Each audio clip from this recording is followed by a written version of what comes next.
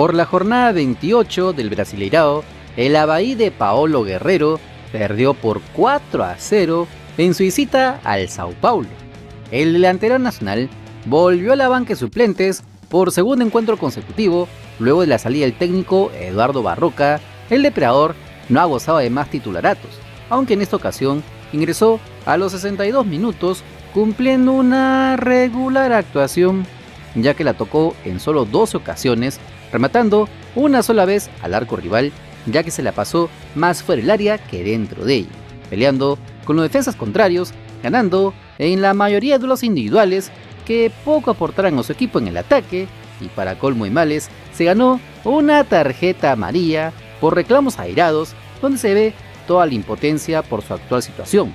Para ser justos con el goleador histórico de la selección peruana, su equipo hace rato había bajado los brazos, ya que el tricolor paulista lo había pasado por encima en el primer tiempo, por lo que lo definió con los tantos de Diego Costa, Luciano y Patrick.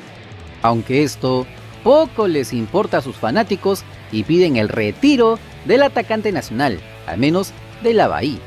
Con este resultado, el equipo del León de la isla sigue en la zona de descenso con 28 unidades y la próxima fecha recibirán al Atlético Goyanense el 1 de octubre. Ya sabes que si quieres estar enterado de las últimas novedades de nuestro balompié nacional, solo suscríbete al canal porque somos el canal del fútbol peruano. Si te gustó el video dale like, comparte, suscríbete con la campanita. Nos vemos en el siguiente video. ¡Chao!